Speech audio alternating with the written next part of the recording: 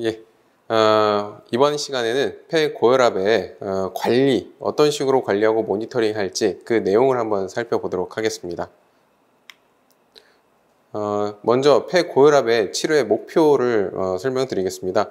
먼저 첫 번째, 폐 고혈압의 진행과 폐 고혈압으로 인해서 발생할 수 있는 합병증들의 위험을